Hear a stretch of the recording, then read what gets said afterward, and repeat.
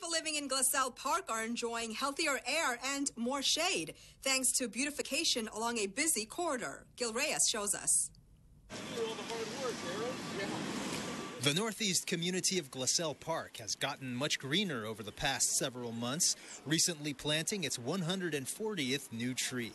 We're removing thousands of square feet of concrete just through these cuts to plant the trees. Los Angeles uh, is one of the most concretized cities in the world.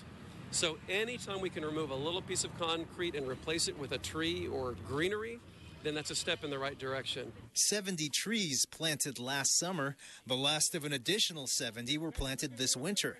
Glassell Park Area Councilman Mitch O'Farrell proud of the sweet shades, eastern red buds, and fern pines now beautifying San Fernando Road near schools and businesses. They're part of the city's Water Relief Program, which aims to green main corridors across Los Angeles. In Glassell Park, Gil Reyes for LA This Week. And those trees are now beautifying a commercial corridor between the 2 freeway and Glendale Avenue. Well, here's your chance to indulge your sweet tooth, get a behind the scenes look at making that perfect cup of joe, and marking the year of the monkey. All this in this week's Things to Do.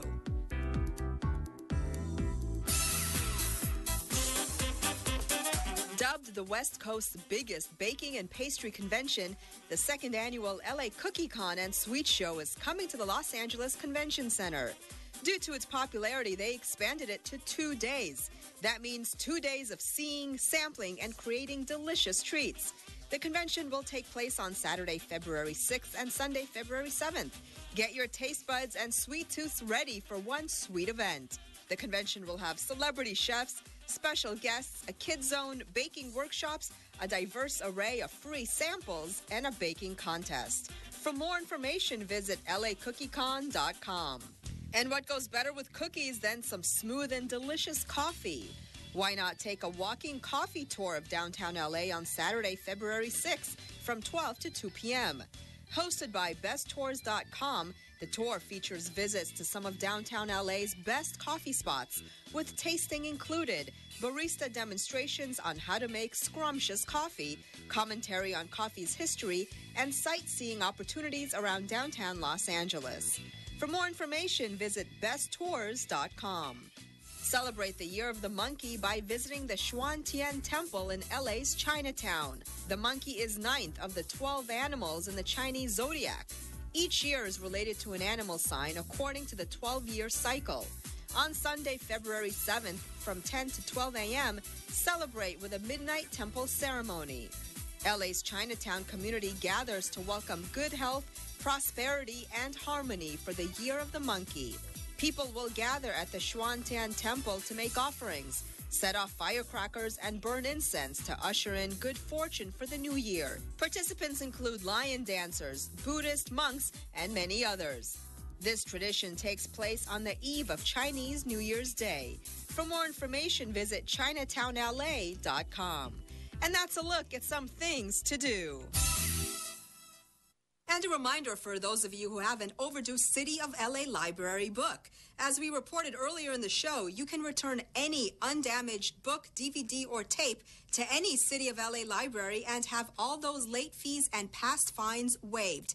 And if you have a suspended library card, get that restored too. But you have to act fast. The program is only on from February 1st to the 14th. Well, that's going to do it for this edition. I'm Yana Kay, and from all of us here at LA This Week, thanks for joining us. A reminder that you can catch us online at lacityview.org. You can also follow and like us on Facebook. We'll see you back here next week for more of LA This Week.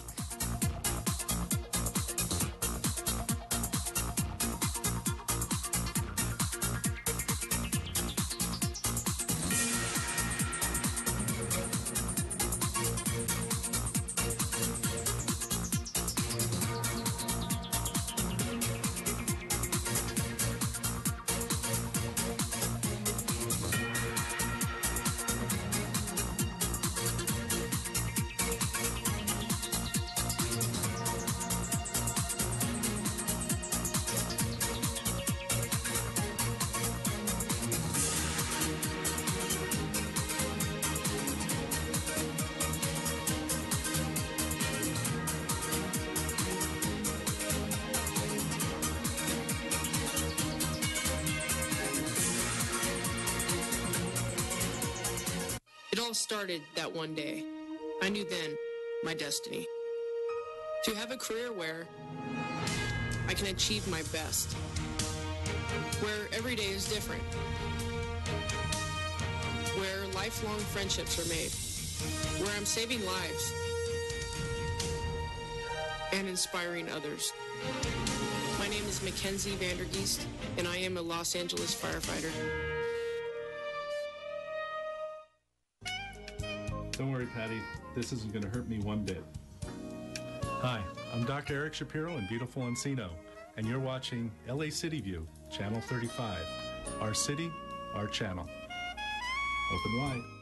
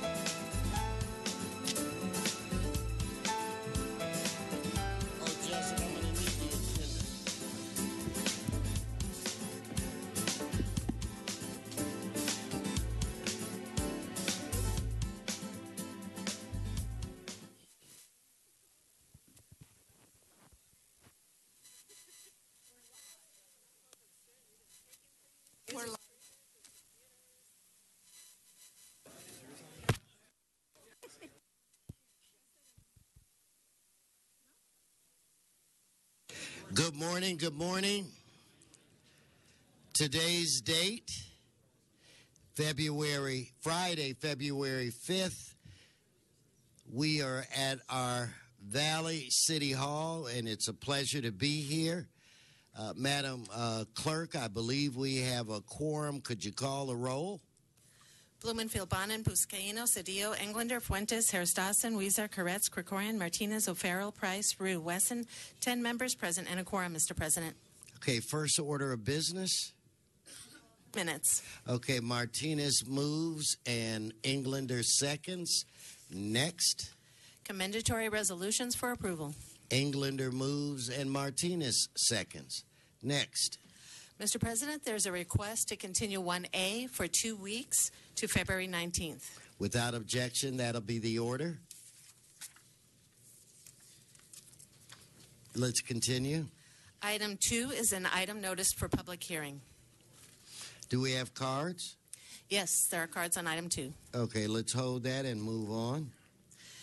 Item 3 is an item for which public hearing has been held. The committee report from the Ad hoc Committee on the 2024 Summer Olympics has been submitted and circulated for council consideration. Okay, any questions? Then let us prepare to uh, vote on this measure. Let's open the roll, close the roll, tabulate the vote. 10 ayes. Okay, let's move forward to our next set of items.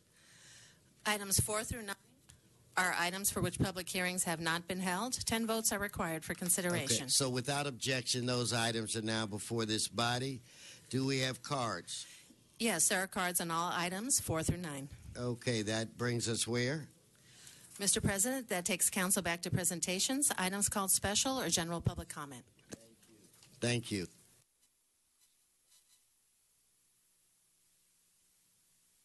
Okay, so why don't we begin our day with our presentation portion? So I will defer to uh, Council Member Nury Martinez. Ms. Martinez, the floor is yours.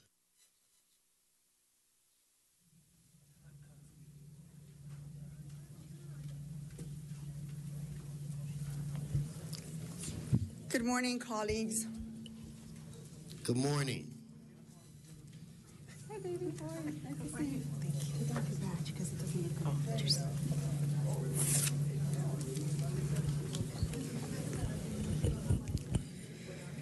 Good morning, Mr. President. Good morning, colleagues. It's my distinct pleasure to introduce Paige Barn Hernandez as we recognize her for her dedication and commitment to serving the residents of the 6th District. Paige graduated from the North Carolina Central University with honors, receiving her BA in dramatic literature. Her liberal arts background prepared her to serve as entertainment chairperson over many regions wide during many region-wide special events, including the Salute to Recreation, the Latin Jazz Festival, the Winter Solace, the Nutcracker in the City, and the Lotus Festival. In 2001, she was she became the recreation facility director at Van Nuys Recreation Center. And while there, she has enjoyed the privilege of developing and cultivating communities. As a park director for her mission, she always dedicated to bringing events and programs to local communities so that they can enjoy the local area. Paige has served as director of Branford Park for over for the past six years. Paige has worked well with community and is always willing to lend a hand to help the community. Today, Paige remains committed to developing and cultivating the community that she serves and views her recent promotion to Senior Recreation Facilities Director as an opportunity to renew her commitment to the Department of Recreation and Parks and the communities that she serves. We want to thank Paige for her dedication and commitment to serving the dis- to serving the residents of Los Angeles and the constituents of Council District 6. It's my pleasure to introduce Paige Barnes Hernandez. Give Paige a round of applause. Paige, thank you for all that you that you have done. Uh, we have several members of the Arleta community. If they can please join me in presenting the certificate to um, Paige. You are not shy, folks. Come on. Now, see, we have Robin from Rec and Parks. Good There to see go. you. Hi, Robin. How are you? Good to see We you have, um, wave. And the only thing I want to, I just want to leave uh, colleagues with a thought is that I wish we had more pages in, in our districts. I mean, Branford Park is impeccable due to the dedication and the amount of time she spends at the park working with our families and kids. And the community has a real respect for that park. And there's no funny business ever as long as Paige is there on the watch. So we want to we want to just thank you for all the great work that she's done in the district. And uh, they're going to be whoever replaces you is going to be has huge shoes to fill. Um, you're you're you. you're not replaceable, but we wish you all the best in your promotion. And I want you to say a few words. Welcome. Thank you. Um, I've been doing this for 19 years, and I've got amazing supervisors like Robin. And it's really, it's just, it's a pleasure. It's a pleasure to serve the community in any way that I possibly can. And I'm just, I can't do it without any of you guys. And I'm just very grateful to have the opportunity to have done so and to continue doing so. So thank you very much for this acknowledgement. Now, thank you and congratulations. So, on behalf of the LA City Council, I want to present Paige Barnes Hernandez with a recognition and best of luck in um, your future endeavor. We're going to miss you, and um, and if we're in, di- in dire need, we'll ask her to come back. So that's a condition. I'll come back. Okay. Thank you so much. So, just take a picture. Oh my gosh. Isn't that pretty? Just Yeah. drop it. Drop it. There you go.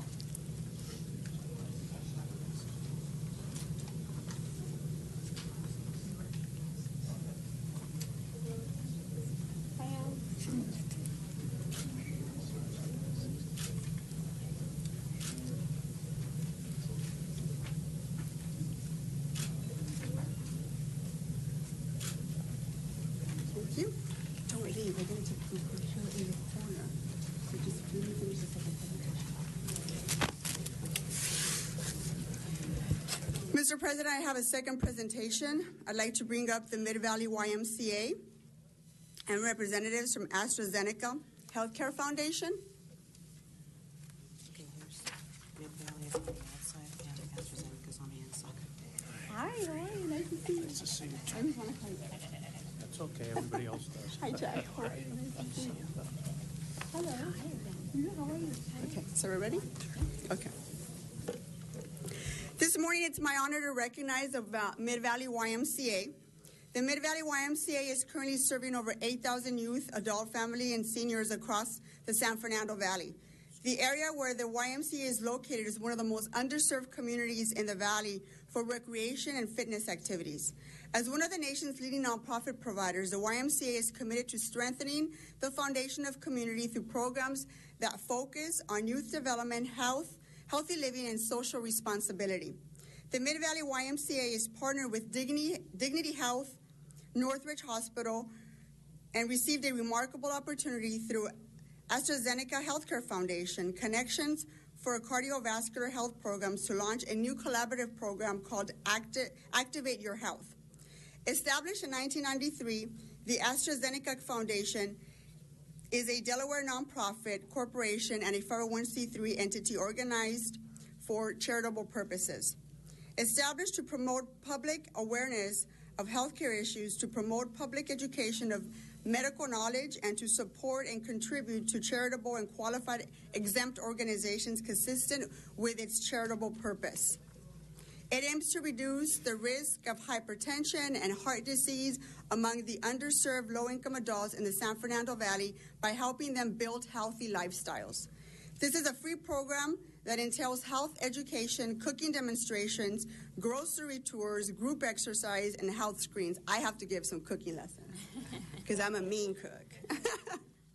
the goal is to help participants reduce their blood, uh, blood pressure and cholesterol levels while increasing their knowledge of nutrition and vascular, cardiovascular risk. Upon the graduation of this eight week program, participants will receive a three month access pass to the Mid Valley YMCA where they will receive the support of on site health lifestyle coaches to continue on their health and wellness journeys. Mid Valley YMCA is it, and its partners are one of 11 selected out of the 384 nonprofit organizations nationwide to receive this grant opportunity from the AstraZeneca Healthcare Foundation. They've received a grant of $156,000 to implement this important program. Here with us today are Greg Meyer, the Mid Valley YMCA board chair and a retired LAPD captain. Welcome, Captain. Thank you. Uh, we also have. Give him a round of applause. Come on. He's just as involved Thank as you, when sir. he was. Uh, you're not really retired. You never really retired. No, I'm still You're doing- still working. Still doing one or two things. And we also have uh, Chad Maynard, the executive director of the uh, Mid Valley YMCA. Raise your hand, Chad, so we know who's who. Juan de la Cruz, the vice president of community development at YMCA Metropolitan Los Angeles. Is he here? Not quite yet. He's not quite here. Okay. And then we also have Sue Marasco, who is a senior vice president and of branch operations of the Metropolitan Metropolitan Los Angeles YMCA. It Well, was Sue's also- the blue. She was also a former Mid Valley um, uh, program director as well. Um, and here to represent AstraZeneca uh, Healthcare Foundation is Patricia Alvarez Sagun. Yes. Thank you for being here. She's the director of state uh, government affairs. Welcome. And we want to give them a big round of applause. And I'm going to ask Patricia to say a few words. As long, uh, uh, you want to go first, Chad? Who wants to go first, Chad? Okay.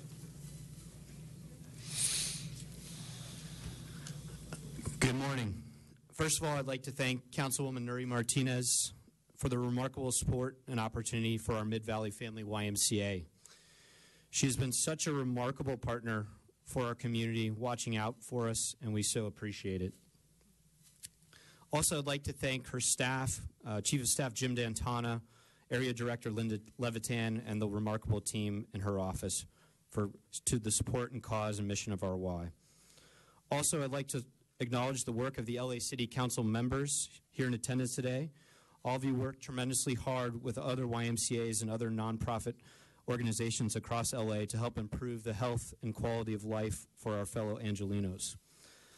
I would like to extend my deepest thanks to the AstraZeneca Healthcare Foundation and their Connections for Cardiovascular Health program for this remarkable grant opportunity to help improve the cardiovascular health of so many of our mid San Fernando Valley communities.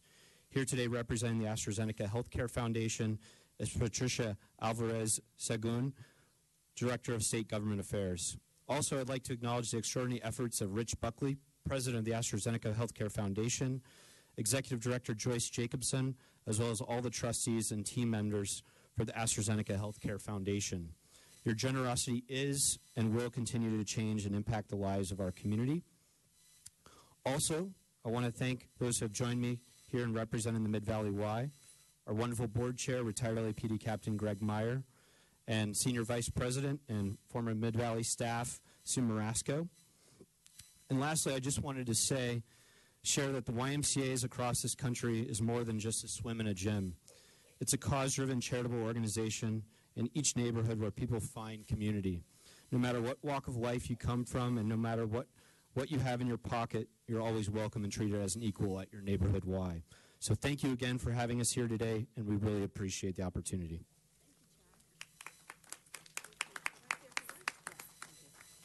Good morning, everybody. Um, on behalf of the AstraZeneca Healthcare Foundation, I would just like to say um, thank you today to Councilmember Martinez for the recognition, um, and thank you as well to the LA City Council.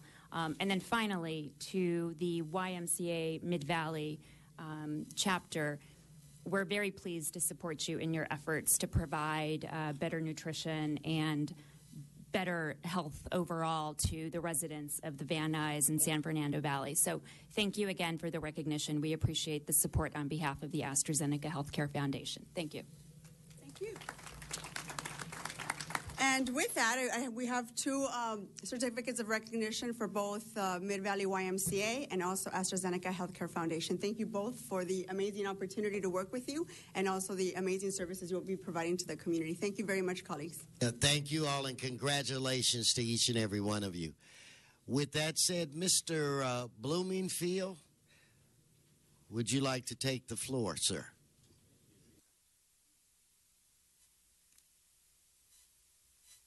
Mr. eh, no, no, Mr. Ms. Martinez.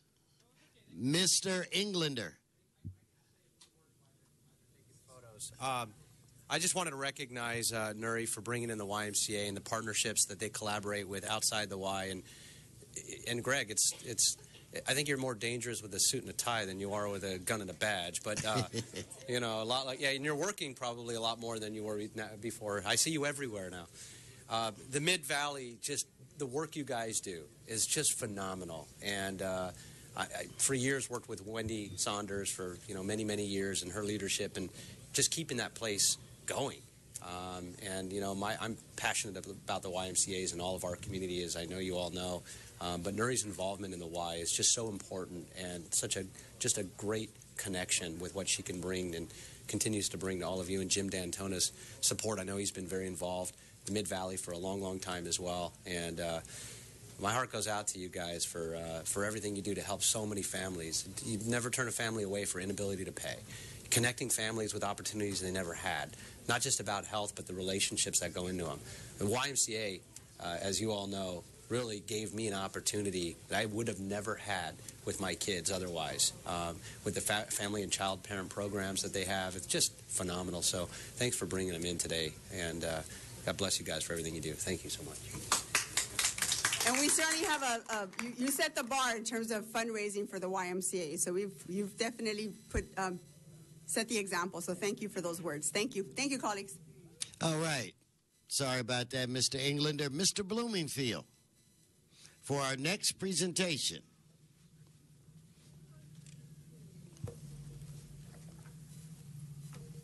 The whole crew up here.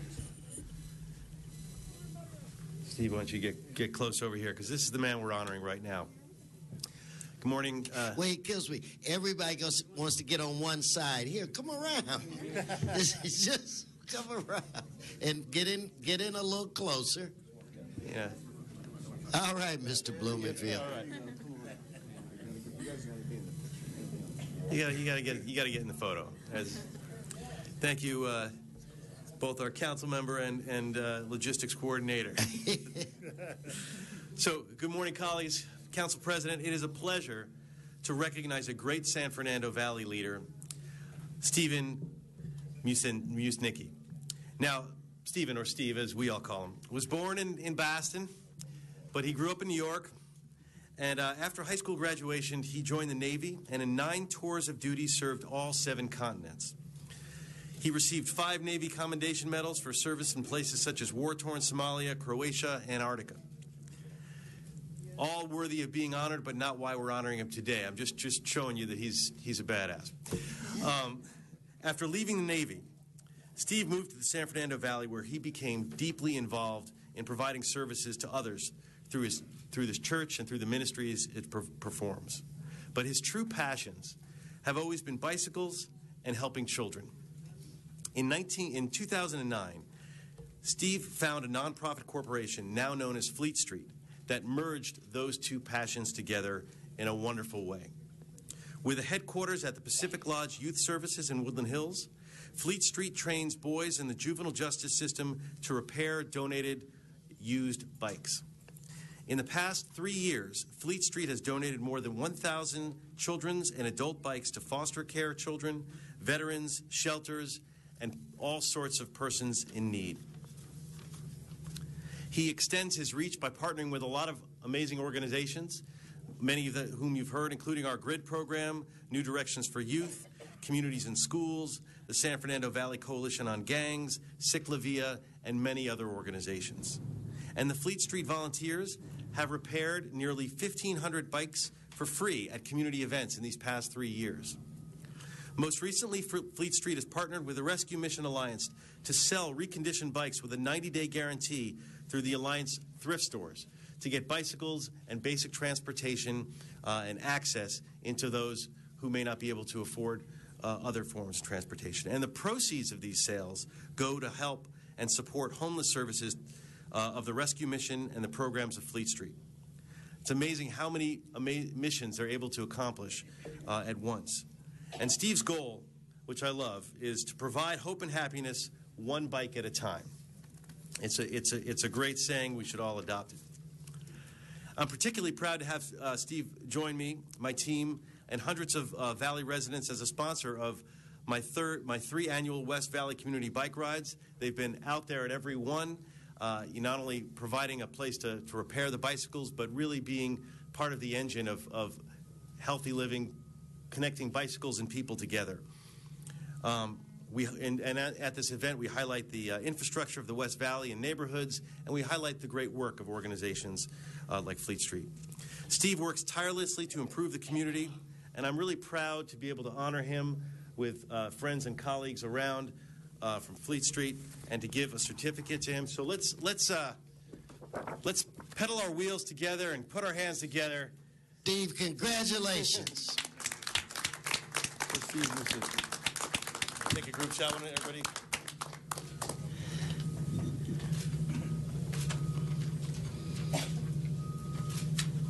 Thank you. All right, thank you. You want to say a word Yes, or two? can I- can I- Please. Thank Welcome. Thank you so much for having me today and honoring me. It's a, it's uh, I'm humbled very much. Uh, my passion is to work with the, the young youth, at-risk youth, and uh, I love training those guys, and they do so much good. Uh, they're our future, so uh, that's my passion to work with those guys. I also want to thank uh, all my family and friends. I would call all these guys behind me my family because they've supported me this whole uh, endeavor and I love every one of them. They're great people. Um, I, I, just want to thank the City Council for passing a resolution a few months ago on the LAPD bikes. We now give those to veterans, and uh, we have a little package we'll pass out to you guys later that has some thank you letters from the veterans to the City Council uh, for receiving these bikes um, and for their rehabilitation. And I, I thank you for passing that resolution. Thank you, Mr. Blumenfield. Yeah, thank you and congratulations, Steve. That, that, package has already been circulated. It's on everybody's desk, uh, an envelope with some of those letters in them. Thank you. No, thank you. And uh, good, well done, Mr. Blumenfield. Hey, thank you very much. My whole, my whole, my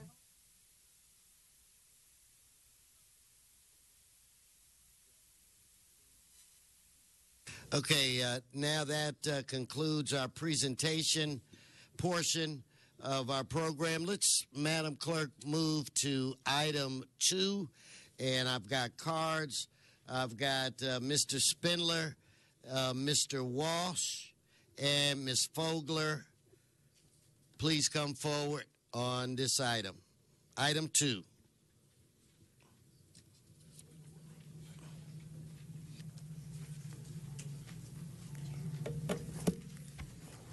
What a waste of fucking money. Look at this. Revenue bonds for what? For poverty pimps, $20 million of poverty pimp money for simply pimping people out in CD number 10. Scatter the money. Scatter the money and the bitches. Yes, $20 million of total waste and fraud on something called Buckingham Road. It sounds so British, doesn't it? Yes, you too can live with the royal family at 4143 Buckingham Road, where dreams come true and drive by shootings are the reality of the day. Vote no, but none of you will do that because you're in the pocket of poverty pimp lesson. Okay, uh, Mr. Walsh, I believe you're up, followed by Ms. Fogler, then Ms. Pearman. John Walsh, blogging at HollywoodHighland.org, HollywoodHighlands.org, or J. Walsh Confidential, tweeting at Hollywood Dems. This is another little sneaky uh, uh, federal, this is federal money for something no one ever can say anything against or, or check out, which is $20 million for an 83 unit scattered site, multifamily rental housing, affordable.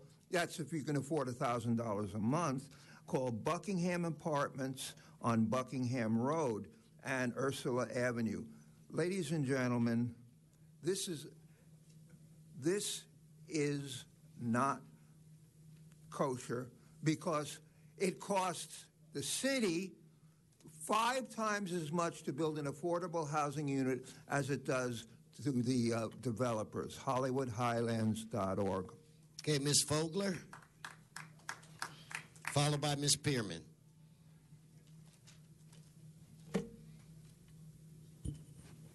With the debt that we're uh, accruing, I'm not a bit surprised how expensive this project is and all the other projects that you people have pushed through.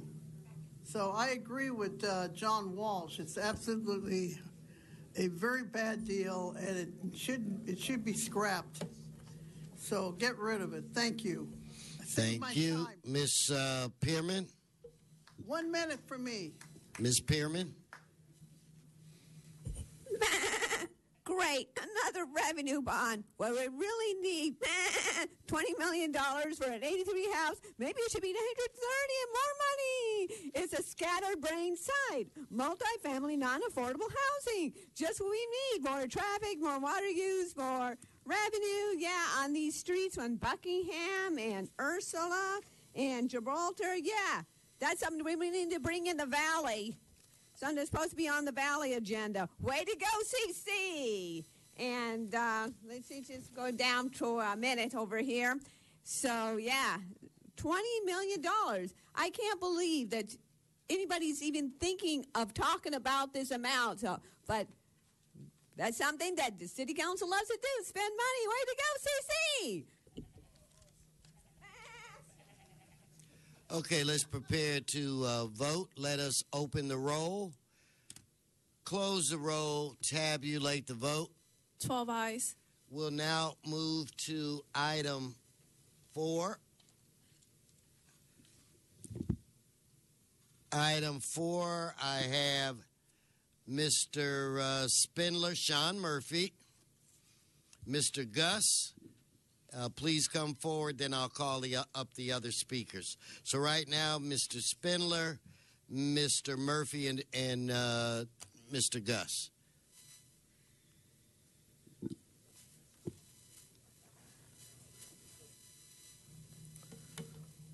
Once again, more persecution. The fucking REAP program. The inverse condemnation scheme of the city of Los Angeles. But today we're in the valley. But today we're talking about the pimp daddy areas of CD 9 and 10. Yes, you come to the valley to destroy those homeowners.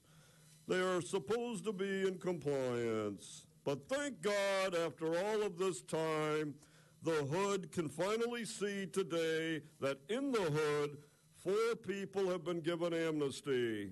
Four slave owners have been freed from the captivity of CD 10 and Herb Wesson and Price, another one who's owning slaves.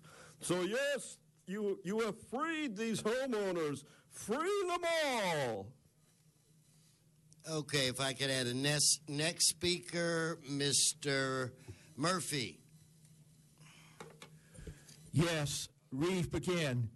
If they don't do a good job of landscaping your house, you don't pay your rent to, this, to them anymore. You pay it to the city of Los Angeles Housing. Thank you. So if I could have Mr. Gus, Mr. Walsh, and then Ruth Sarnoff, please come forward. One minute only, please. One minute only.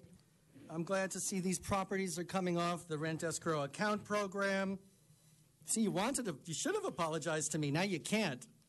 These files, these files are cold and dead, just like Gladys Wesson. Look, you're off subject. You're off subject. You are off subject.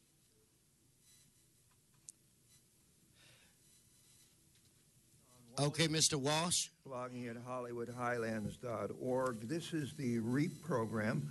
I first moved to uh, Los Angeles in 1966 before a number of you were born. I was an adult then.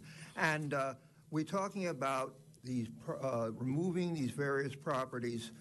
Again, the landlords have not kept up the, uh, the property. There are violations, and you went after them and did a very, very good job. Remember, you don't know when I get up whether I'm going to be positive or negative, and I'm very, very positive when you help renters, and very, very, very negative when you tear our affordable units down. HollywoodHighlands.org. Keep up the good work.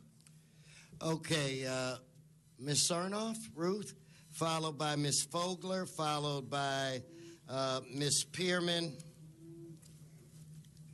Um, Council, um, I think I have some questions. This is an area that I am somewhat unfamiliar with. I am concerned about how much um, housing that could be uh, renovated and solarized and turned into a usable property for um, low income people, uh, perhaps for some of the homeless, or to put uh, where there are apartment units to renovate because there is nothing uh, worse than having a slumlord for a long time and then to be evicted and rolled out and become homeless. So it's kind of from the frying pan to the fire. I think you need a process where the people who come here should have some immediate access to help in resolving what kind of problem it is, whether it's a tax problem, indoor blight, outdoor blight, failure to meet certain codes, and then uh, take it from there and give the tenants a chance to have a voice in the outcomes of some of these because we are rolling too many people into homelessness. If you remember, it hasn't been too long back in August when you were warned by the LA Times in an important uh, Get back um, on bit of subject, Ms. information to that 13,000 people a month are being rolled into uh, homelessness. It's not always permanent, but they are falling into it, and it's from the mortgage evictions and the evictions for a lot of the high-rise uh, skyscrapers and other development in the central city, particularly. And I may be. Thank- um, thank you, You could thank deal you. with some better process. Thank, you. So, Ms. Fogler and Ms. Pearman.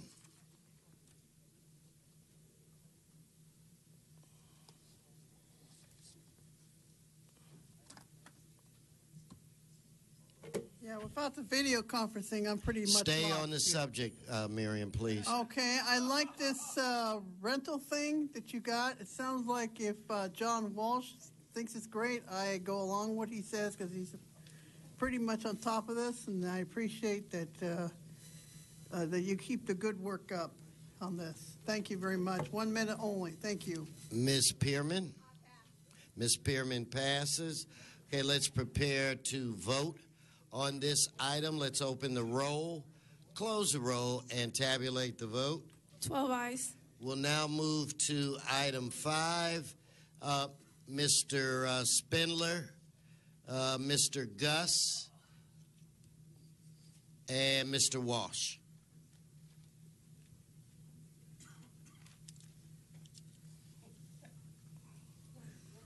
So now we're going to let the Jewish Marvin Braude Constituent Center connect the dots. Yes, it's time to connect the dots. We have to have public and art environmental science workshops. Like, for example, how do you sell your home and leave LA? That's a good environmental science workshop. Get back on the topic, Mr. Spindler, please. The, the House Negro is interrupting me, please. The dots, Van Nuys. I'm trying to connect the dots. That the House Negro continues You're not to on the subject. me. You're not. Thank you One very much, billion- Mr. Spindler. You're off sub- subject. I warned you twice. Next speaker, Mr. Gus. One minute only, please. One minute only. So we have the use of the building next door for, among other things, uh, P- Pacoima, beautiful. Jesus, talk about a talk about a conflict of uh, uh, in naming. Pacoima, beautiful. But the, one of these groups talks about um, water reclamation and beautifying. Van, uh, what is this? Uh, Van Nuys Boulevard. Is that really the best use of city resources? I- shouldn't you be focusing on these other ills of society? You're, you're, you're, you're putting, what do you call it, a silk purse on a sow's ear. This is a misuse and misdirection of your efforts, of, of city assets. This thing is uglier than public figure Fabian Wesson. Thank you. Thank you. You're off the subject, uh, Mr. Gus. I think she's a very attractive woman.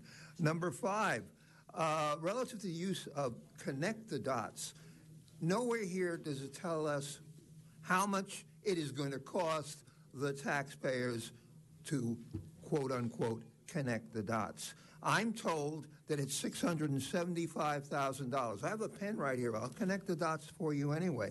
But again, it's the LA County Bicycle Coalition. The LA County, that's politically correct times a million. The LA Bicycle Co- uh, Coalition could murder me and you'd give them an award. There's nothing the Bicycle Coalition can do that's politically incorrect. Uh, I don't know. I, I feel sorry for Mo- Mr. Marvin Braude. I spoke in front of him uh, many times. He's gone now. He died. But that his name is involved in this. The Arid Lands Institute, Pacoima Beautiful, uh, isn't HollywoodHighlands.org. Thank you. Let's prepare to vote on this item. Let's open the roll, close the roll, and tabulate the vote. 12 ayes. We'll go to item six. We'll start off with you, Mr. Murphy, and then we'll go to Mr. Uh, Spindler, and then we'll go to Mr. Gus. Yes, item number six. Uh, I'm kind of against this pro- item. Okay, next, Mr. Spindler. Mr. Spindler. Next. Mr. Gus. Okay, then let's move on. Let's uh, prepare to. Oh, no, no, no. I've got uh, Miss Pearman and I've got a Miss Fogler. So please come forward. I, I put in number five too, but okay. Anyway, project near and dear to Mr. LaBonge, a vacant lot for Griffith Park. Uh, yeah, let's move them. Uh, they, this is where they can move money around and have some fun. So, I just want to say that uh, I don't know why you're playing around with this two hundred thousand dollars from real estate funds to put in another one. Just seems like they want to have be able to um, say that that's why you're here. You don't want to say I don't have enough projects. So, way to go, CC. Miss Fogler, followed by Miss Sarnoff. Come on, Marion. Restart her clock. Okay, I'm going to be need one minute. Yeah, I concur with Donna because the fact is that you're wasting money when we have a budget crisis in this country already and the city's already in the big debt. I lost track, but it's very big. So, folks, you know, we don't want to bankrupt our government because it's the greatest system we have in the world. Thank you. Mr. Previn.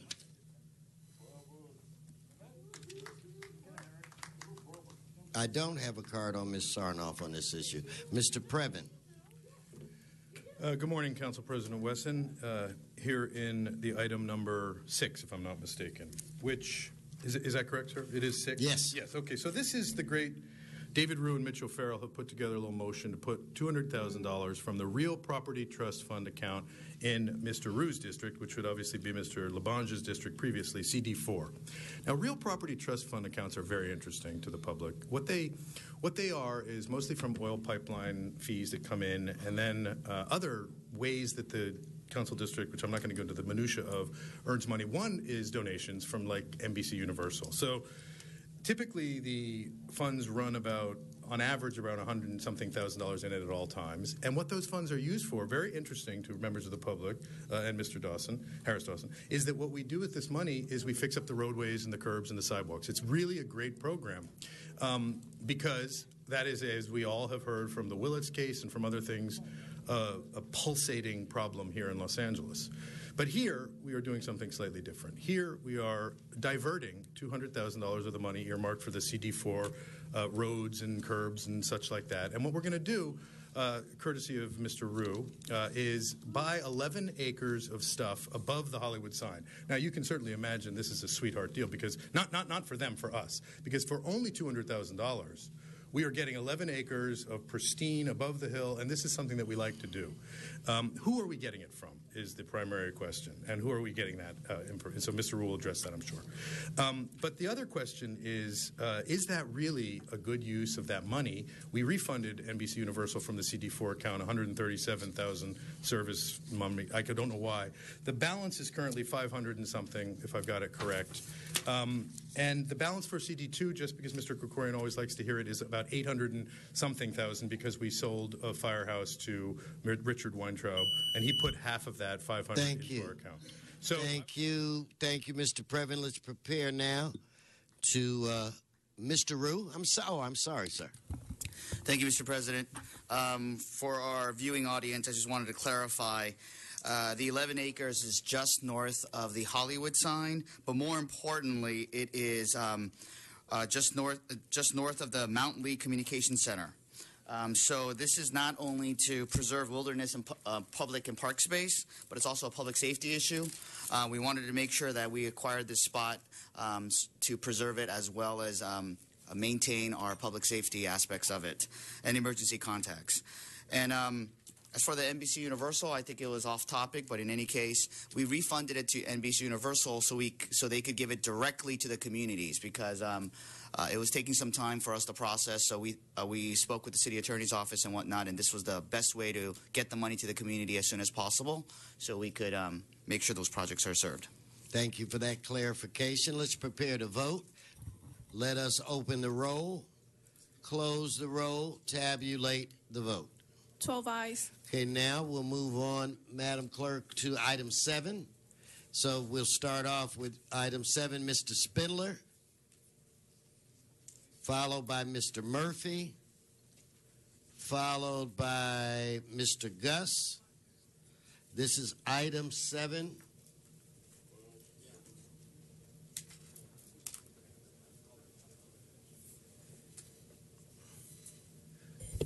Yeah, this is Mr. Ryu's item. Item seven, I am a, uh, I'm kind of for this project. Okay, thank you. So, again, Mr. Spindler, Mr. Gus, Mr. Walsh. Mr. Walsh passes. One minute only, please. This talks, one minute only, please. This talks about special events. Uh, and I guess what special events? Are you talking about for small community groups or are you talking about special events for nonprofits like the Grammys that don't need it? So you- need to specify what special events. Is it for the poor kids in the neighborhood or is it for wealthy organizations like like the the, the uh, Moving Pictures Academy or the the Grammys. Um, it's just like when you guys are missing sentences in these things. This is too vague. You need to be specific. It is as ugly as public figure Fabian Wesson's You're off face. the topic. You're off the topic. And you know, Mr. Gus, if you have a problem with me, just direct it to me. You want to play dozens like a child, then go right ahead. But if you have a problem with me, be a man and address it to me. Don't act like the 11 year old boy that you are. All right? So, with that said, can I have the next speaker? Miss uh, Pearman or Miss Sarnoff on item seven, please come forward. Miss Fogler. Why do we need to spend uh, transfer funds $160,000 for special uh, um, events? Well, the only special event I'd like to see is everyone together get together and bring back video conferencing. Thank you.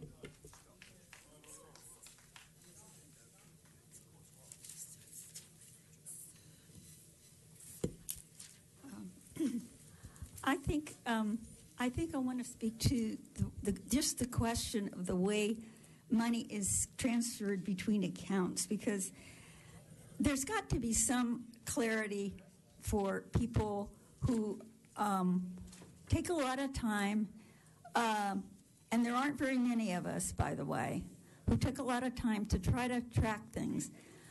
Uh, to my best knowledge, um, the um, the things, many of the things that came today, I signed up for both five and six. I was not called. Um, perhaps someone can rectify that. Um, if I could If could take the rest of my time, I would like to speak to both five, Yeah. and because We're on item seven, ma'am. I know, but I was not called for five and six. Yeah, and we're on item seven. You can, we'll address that on the side of the ropes. The officer here who took the cards just now. And not, they were submitted a long time ago, and he knows it. We'll take a look And I at it. am going to take it, I'm going to take it and make a formal uh, phone Please stay, on, please stay on topic. Right now, you can address that on the side of the ropes with the sergeant, but stay on topic on this particular item, please. I object to the way money is transferred uh, from account to account. Um, I protested a big much of money that goes from the Department of Water and Power every year into the general fund. All you have to do is look for the tail end of the budgets and go back in time, and you'll see the transfer, and it grows every year. So you want to keep playing with money, then the place where the money was supposed to go year after year, which was to do to do infrastructure, didn't get spent there. It got spent somewhere else. And I'm not saying everything that money is spent for goes in somebody's pocket. I'm not even implying it. It's just we have to know, and people have to have a way to sign in. Thank you.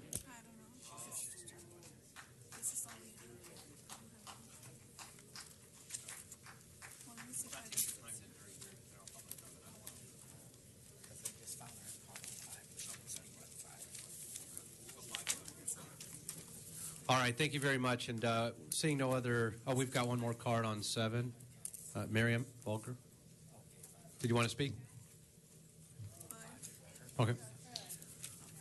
All right, so with that, we'll go ahead and uh, then open the roll, close the roll, and tabulate the vote. 12 ayes. That item is approved. Next item, please. Item eight, special for cards. Great, thank you very much. Wayne?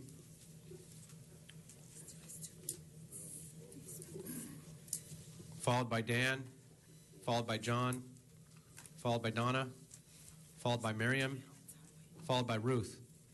In whichever order you all choose. Right. Gotta get your ass up here. Now, what is this bullshit about an aggregate maximum sum of any payment of a city reward?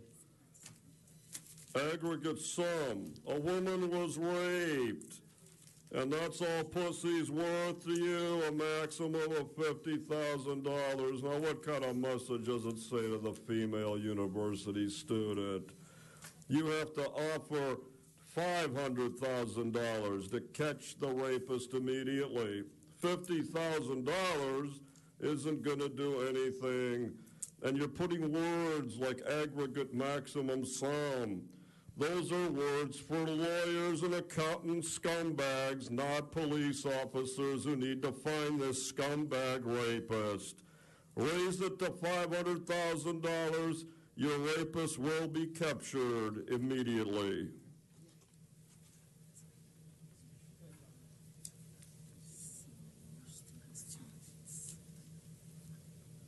John Walsh, blogging at HollywoodHighlands.org or Jay Walsh Confidential, tweeting at Hollywood Dems. This is the most important agenda item. We're talking about a woman who was raped just recently, because the council action was on August 28th of, of last year. She was raped at UCLA. She was beaten and raped. And now, no one. Meanwhile, you have just told uh, Switzerland, come here. We have a crime free campus for you. Meanwhile, you're offering $50,000 for any information leading to the arrest of the UCLA rapist. And what are you getting? Absolutely nothing because they fear anybody who saw it happen on campus. This didn't happen uh, in, in the, on the sidewalk. This happened in a campus. The police are worthless. Uh, the UCLA police are worthless.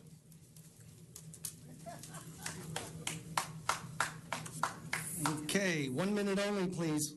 No, you know what? I'll take my two minutes. I'll take my two minutes.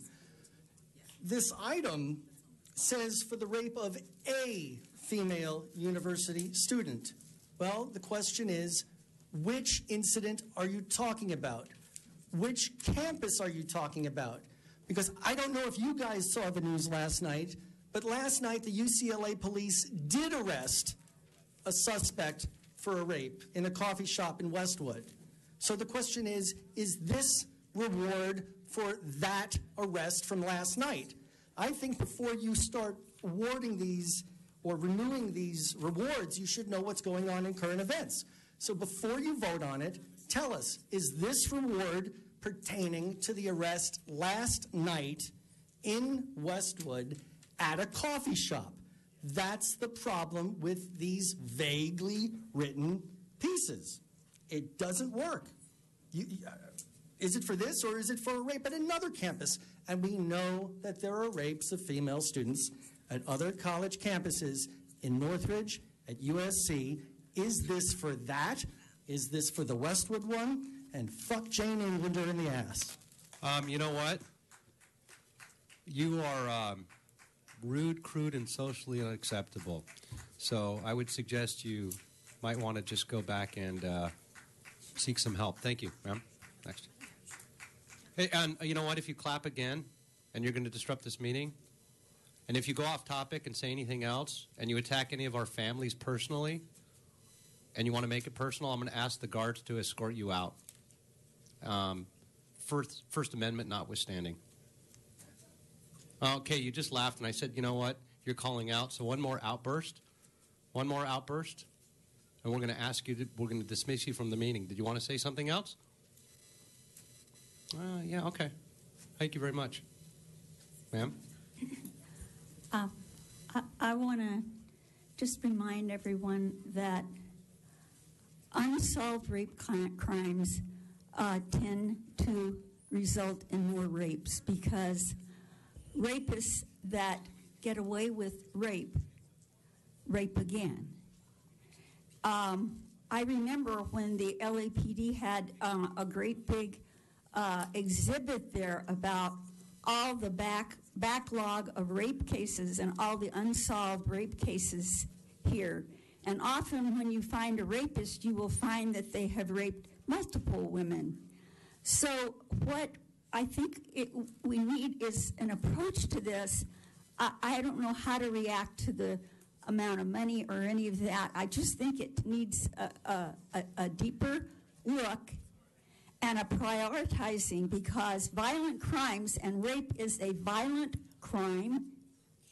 Whether you kill a person or you don't, it's violent. Thank you. Thank you. Donna Perriman, women would, would, would be raped if they had the right to carry their own firearms. It would be.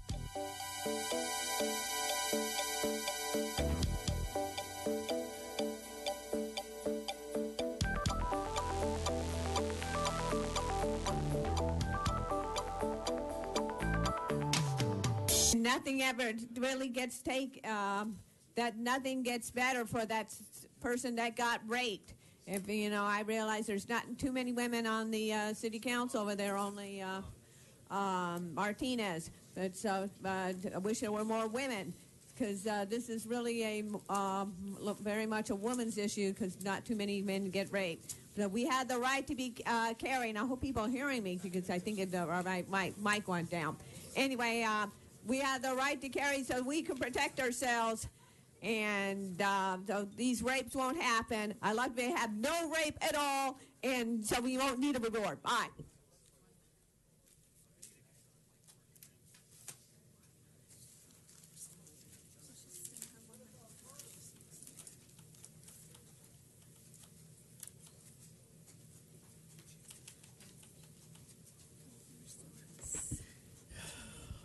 You know, we're so infested with all these violent people out there now who want to commit these terrible things to women because that seems to be the thing that men like to do. They like to make women like like piece of dirt, and then they want to take away the firearms. And we need to have them to protect ourselves from these rapists and murderers. It's about time that California changes the law so that we can have these rights to protect us. Us women, it's about time women stand up and stop being a victim and say that's enough, enough is enough from these rapists and murderers. who try to, to, to hurt women and other young kids and minorities. We need to stop this injustice that's going on here. We need to stop this. We can't have this. They're kids. I have a 22 year old. I don't want her attacked and raped. She's going to Boston. I don't want her hurt. So, folks, hear me. We need to have a right to have our guns to protect ourselves from these rapists once and for all. That's it. Thank you.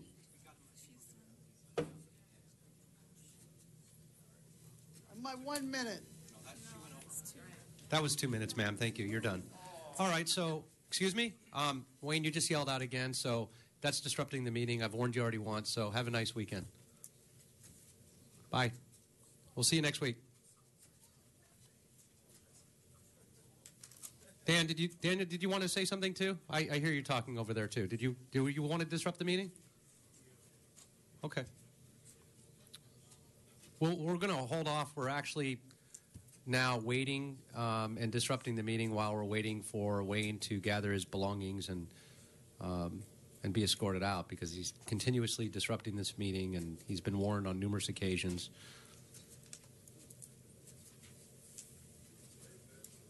We'll continue to wait.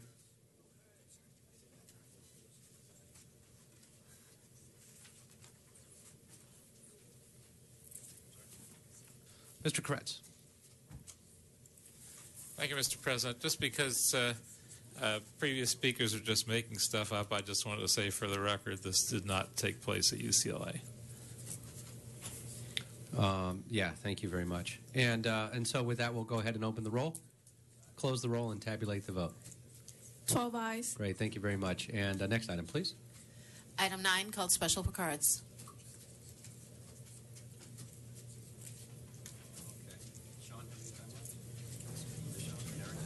Sean still has Sean two. does.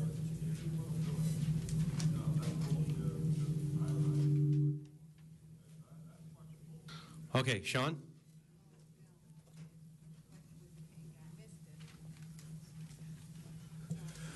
Item nine, I'm not supporting. Thank you, Eric. You're up.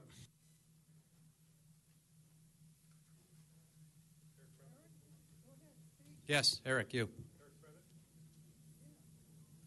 Yes, Eric. It's you. Same Eric that fills out a card on every single item. That's you, yes. Thank you. Sir, Time is yours. I, this is my second item today, and my name is Eric Preven, and your name is Mitch, but we're not on a first name basis, so in the future, just call my name. Thank you. And don't disrupt the meeting. This is Thank you, Eric. thank you to Mr. Blumenfield uh, once again uh, for all of the work he has been doing for the Lowy family, who are based in Australia and uh, run what I can only describe as a really substantial um, mall business. They have 38 malls in America. They um, recently put one in, and as we all know, in Topanga, uh, down uh, uh, over by the Warner Center, and it's uh, it's near a traffic transit corridor. And those of us who are historians know that the Huntingtons were smart too, because they figured out if you get near the railway, guess what? You're going to get rich. So these guys have moved their mall uh, from the rack, where I obviously was doing my uh, wardrobing, um, which has turned into a dismal ghost town. And this is um, the sad part of this otherwise exciting story because what we're doing at this item is we're bringing in RSG. Now, the good news is, is I mean, RSJ. RSJ uh, do a fantastic job of making sure the numbers add up. Um, they are being paid, unfortunately, by Westfield, which has been the subject of my ire because, you know, I understand we want we don't want to spend city resources on that kind of thing because we're they're going to be getting the benefit. But if we allow them to pay the guy who's assessing the financials, well, of course, uh, you know, you work for who you. I mean, except for in this or, organization where you technically work for the public but have been working for others. This is the others. So that's the problem here. And what I would ask is, is that we thank RSJ for their earlier consulting work, but do something different and find a firm that has not been so mired in the financials of this particular group and is now being paid by this particular group, even though that is an old ideation that works very well. Hey, we're going to fix the curb, give us an extra 30 grand, we'll get you through all the line ahead of all the public. These guys have a lot of money. The Lowies, uh, by the way, should not be impugned in any way for what they're doing because they are very effective. Thank you. Thank you, Eric. Joanne? Item nine. Oh no, I'm sorry. That was on. We're going to general public. Oh, that was that concludes all the speaker cards for that item. And seeing nobody on the queue, we'll go ahead and open the roll, close the roll, and tabulate the vote. 12 ayes. All right, now we'll go. ahead- I believe that uh, concludes the agenda. We'll go ahead and to go into general public comment.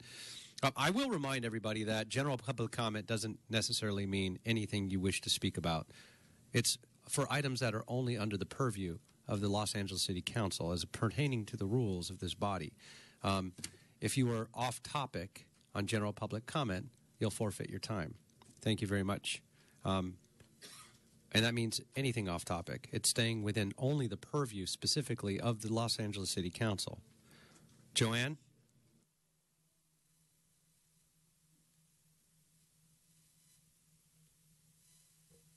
Good morning. Good morning.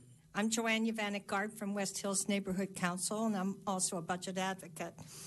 I just, one little thing, I wanted to say that we in West Hills agree with finding existing venues for the 2024 Olympics. So I just want to get that out of the way.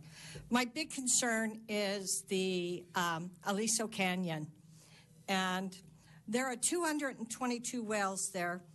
Almost half of them are over 50 years old. Most of those, a significant number, do not have current safety valves. This presents a big hazard for the city, for the North Valley, our district.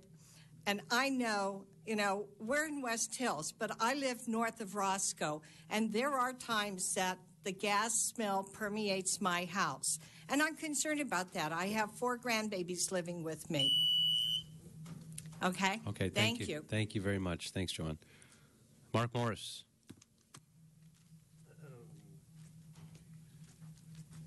Morning. Hi, good morning. My name is Mark Morris. I'm uh, Vice President of Save Porter Ranch, a uh, uh, group in the uh, Porter Ranch area that has existed for over two years.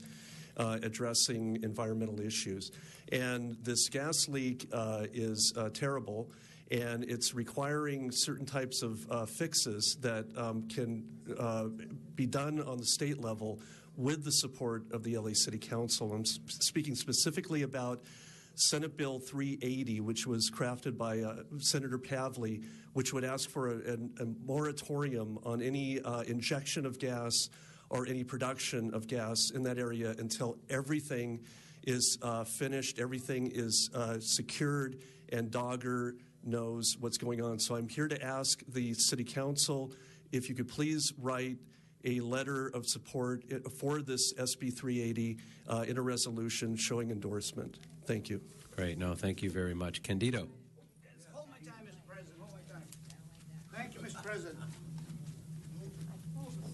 How are you doing this morning? Good morning, sir. Good morning, Morning. Candido Maris. Proud, proud, super proud resident of the 12th District. And I, I want to thank the council uh, for being here today and for supporting us in, in the 12th District. I'm here because I want to thank your uh, your staff, Mr. Englander. Uh, they have returned calls. They they're doing everything possible to help those of us in the Porter Ranch community. Um, I had four uh, company officials from the gas company come to my home to see the situation on Tuesday. Uh, and they're doing everything they can. But uh, if it weren't for your office and the things that you are doing there, uh, I don't know if it would be uh, going as well. But that's something you have done all your life. And uh, you know, somebody might here might say that I'm kissing butt. I never kiss butt, but I do like. You, you know you what? If you want, some, was there a laugh over there? But sometimes, you know, this has gotten out of control. This has gotten out of control. What's happening here? I can, I should be able to come here and thank my councilman for doing a great job, and I should critis- be able to criticize those of you who don't do your job. But you, sir, have done a wonderful job, and you've done it with the YMCA, the Jeopardy program, Thank you. all of them. Thank, Thank you you. very much. very much. Thank you, Candido. Appreciate it. Thank you so much. Sean.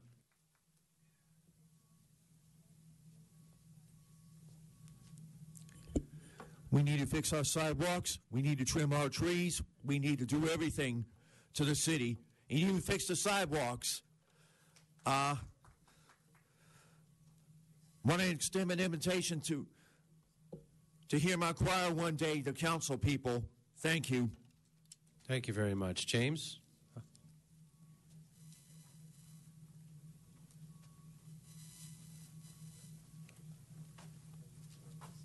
Hi, I'm James Arias. Good morning. Um, I'm from Pacoima, California, and I need to uh, talk to council about um, illegal vending in my area. It's uh, in a residential area. There's other businesses that sell the same thing that they do, and they're legitimate businesses, and it affects the community um, because of public safety. You know, they stop in the middle of the street. Also, our parks have um, been affected by the illegal vending, and they also use the park as their parking. So um, that's all I wanted to make comment about. Thank, you. very no, sir. Thank you very much, Mr. Walsh.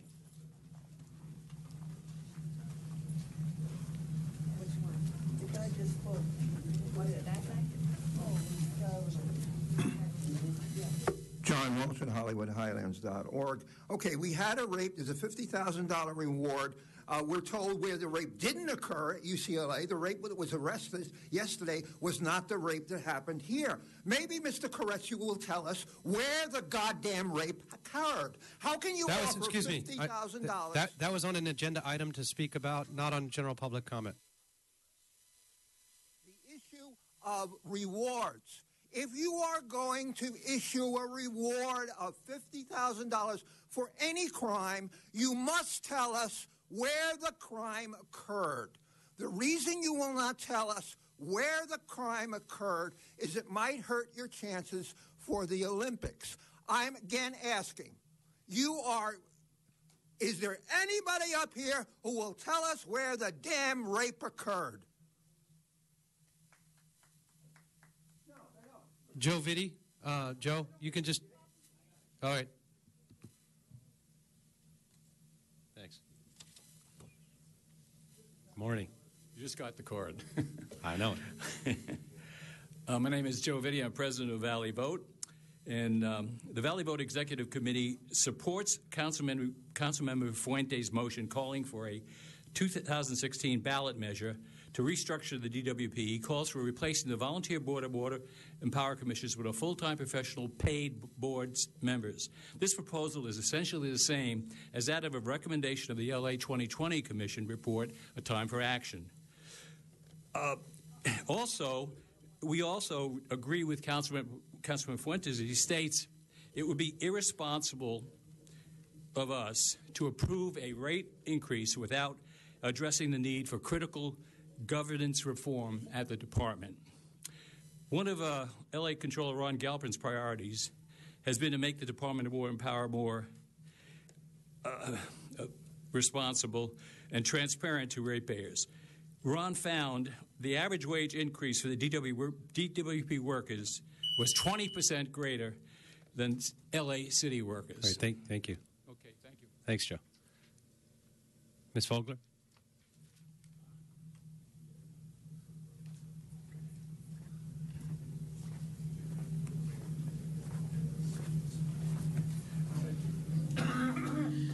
Okay, what happened in San Bernardino, I don't want happening down here in my neighborhood here in the valley, San Fernando Valley. So we need to be aware that we need to be uh, that we need to make sure that Washington knows where Los Angeles stands. That we're not going to allow these terrorists coming in here and hurting us here in the San Fernando Valley. And I need this open so we can keep this being addressed. Uh, the video conference needs to be opened down here in Van Nuys. So we can keep talking about that. We don't want the terrorism here in the San Fernando Valley, and Obama needs to know that. You need to send a message to him. We don't want it here. And we need to tell the Democrats and Hillary that we need to have the Republicans take over so that they don't bring the terrorism here into Los Angeles. We want to fight them over there, not here. So I wanted the Democrats to know we don't want the terrorists that come here to Los Angeles. And I want to let the Jews know that they're, we're on borrowed time now. We may have to return Thank you very to much. Israel. Ms. Perlman?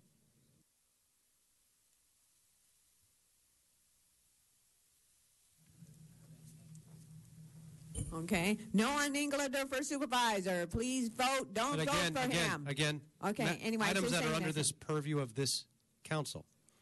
It's not just any general public Okay. items that are under purview of this council only. Okay. I'm, let me go back. We'll go back to the rules. Okay, We've, we've okay. been very We- lenient with the rules. I'm going to set your clock over. Okay, good. Okay, and I'm- it's a warning to anybody else. Okay. If you go outside of anything that's outside of the purview of this body, you're going to forfeit your time. But I'm going to be generous with you because I know you know the rules, but I'm going to let everybody else know. That's the last warning. Thank you. All right. Okay. Okay. We need to bring back uh, Van Nuys video conferencing and make public comment back to two minutes. Any any uh, less is not fair. Uh, Los Angeles, be very careful when you vote in California election. Hil- Hillary will have California, Los Angeles destroyed and won't take terror seriously. Hillary, Obama, and the Democrats uh, won't um, fi- uh, don't believe in fighting with ISIS. Jews, be ready to leave is uh, to leave and go back to Israel because you know eh, we have to be able to take care of the um, terrorists um, that may come over here. North Korea could send something over here and send a bomb over to us, or I um, I'm not sure if Iran can. So. We have to be able to, Los Angeles has to be very concerned about what happens in the rest of the country. We are not in a bubble. So what happens in the election is very important. What happens in other part of the world does matter. Thank you very much. Ms. Sarnoff.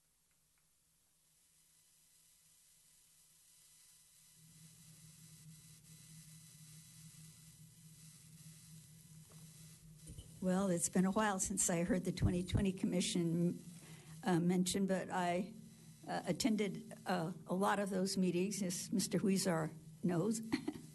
um, I, I want to bring your attention to the fact that in the last two days in the LA Times, uh, the headlines read Utility facing charges in gas link, leak. Uh, I wish you would stop calling it a leak when you talk about Porter Ranch. It's I agree with the people that have talked before and said it's a geyser. Um, another article is on the overhaul of the state utilities panel sought. Uh, this is relating to Porter Ranch and Aliso Canyon. And I want to ask one question, and that is how close is the Newhall Ranch project? And it's Santa Clarita Valley, and it's been sort of approved by the LA County Board of Supervisors years ago, and it comes back up. And I understand it's being fast tracked right now, and I think we need information on that. And I think Great. Thank you very much.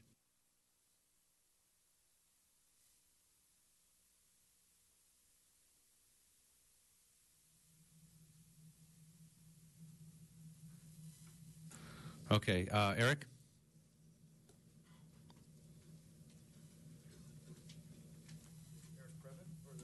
That's you. hmm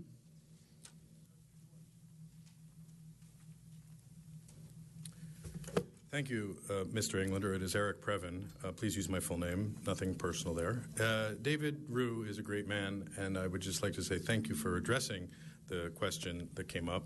But it is noted that the $137,500 refund was uh, to the Toluca Estates Group, who hire private security. That is not what I would describe as a reflection of all of CD4.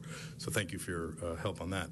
Um, and by the way, if we have an ethics question, Mr. Englander, and you should stay out of this, obviously Anna Dahan, who is uh, NBC Universal government helper and ethics commissioner, could help with that. So thank you. Um, today the YMCA came up, and I am a 31 year veteran of that group. I actually I'm, I go back further. I'm 40. So when I was seven years old, I was a YMCA guy. I Still am, and I love the place. Uh, they got to stay out of politics, though, sir, because you gave them 250,000. Martinez gets money from all these guys. It's not appropriate. Mid Valley's terrific. They're really helping. They need to work on the field nearby, though. But in uh, in my district at North Hollywood, we are the poor little stepchild. We get nothing. You, sir, have a you could have like the whole family in a big hot tub. Very Thank you nice very much. Thank Thank you. Thank you. Dan? Stay on items under this purview. Council members, we had a little lesson in the First Amendment today. Two weeks ago today, you lost my and only my and all of my speaker cards. Officer Duarte knew that he took them. You didn't make an effort to go find them. And I gave Mr. Wesson and Mr. Englander ample, ample opportunity to simply say, I am sorry. And you never did. Because you ran over my rights, I decided to today run over your humanity and the humanity of other public figures. For Mr. Englander to have experienced this and then say First Amendment notwithstanding suggests that the lesson wasn't learned. It, I took no joy in today but you have to learn how to say you're sorry, and as soon as you do, this will stop. Thank you. All right, thank you very much. So, with that, that concludes uh, general public comment, and uh, we have items for posting and referral. We'll consider those posted and referred. And do we have any announcements, colleagues? Seeing none, do we have any adjourning motions? We, we do have one. So, we're going to ask everybody in council chambers, everybody to stand out of respect for those who have passed before us. We're asking everybody in council chambers to please stand. It's, it's your right not to if you choose not to. And uh, if you choose not to, I'm sure that no one would stand for you. Okay. Um, Mr. Harris Dawson. Mr. Chair, I'd like to ask members to join me in adjourning uh, in the memory of Maurice White today. Uh, in keeping with the number of rock and roll uh, legends that we've lost during this uh, past month uh, that Mr. Koretz has been uh, bringing to us, Maurice White is the leader of the what many people call the best band ever assembled, Earth, Wind, and Fire. he is a member of the Rock and Roll Hall of Fame, the Songwriters Hall of Fame, and Earth, Wind, and Fire is a member of the Vocal Groups uh, Hall of Fame. Uh, just a quick list of the people that he uh, either wrote for, produced, or played on their albums Minnie Riperton, Barbra Streisand. He founded and helped produce The Emotions. Neil Diamond, Etta James. He played drums with Ramsey Lewis, drums with Muddy Waters, The Impressions, Buddy Guy, and uh, Barry Manilow.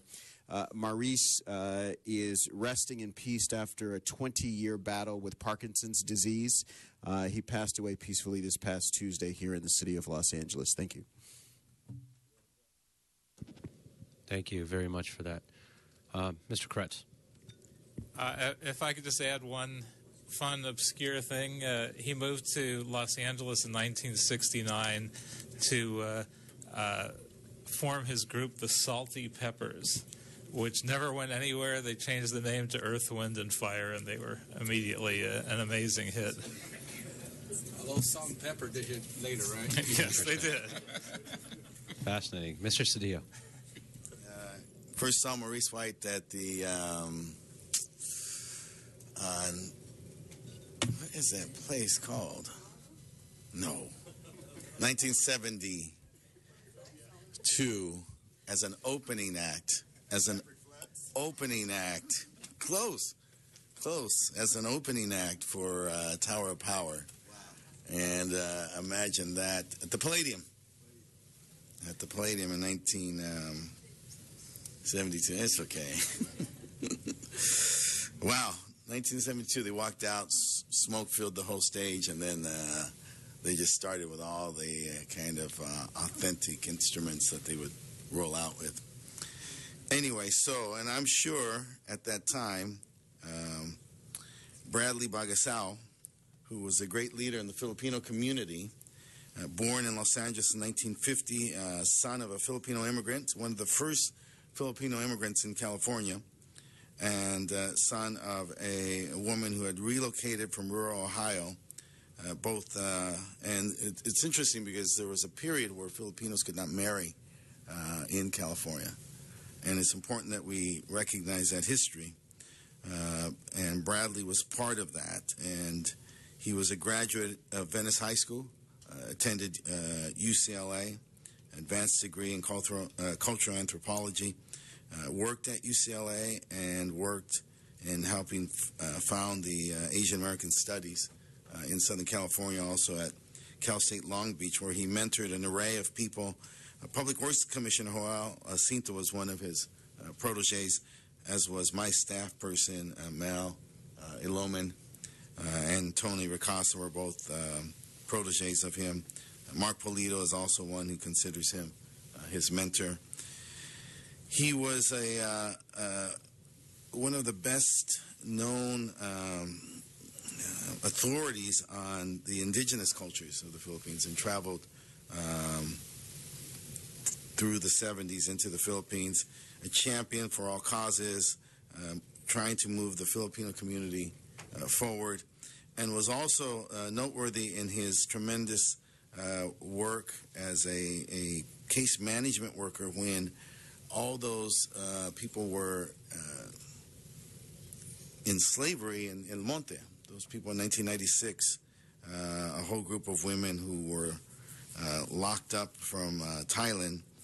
Uh, when they were released, they needed support how to integrate back into the community, and he was their caseworker. And they, 20 years later, continued uh, to love him.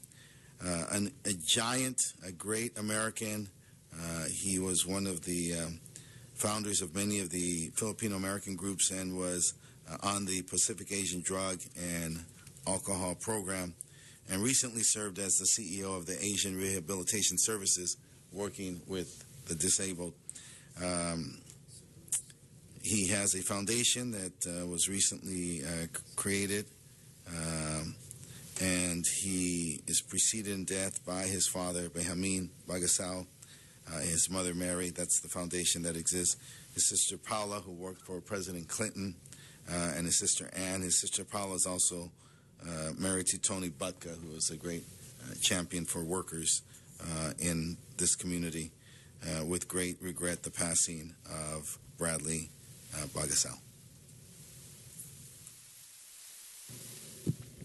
Thank you very much. Seeing uh, no other adjourning motions, this council is adjourned. Have a nice weekend. Be safe.